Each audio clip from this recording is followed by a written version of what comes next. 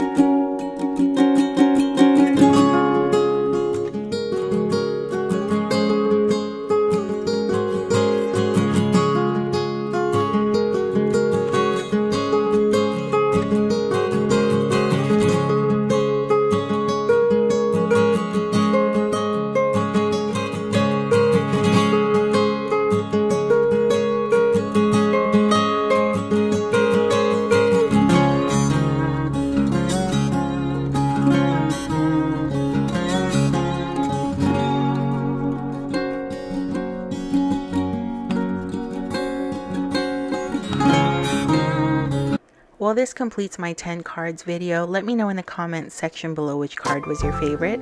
I also have a link to Alma and Cherryl's channel. Visit them and show them some love. Also, if you enjoyed this video, don't forget to give this video a thumbs up and subscribe.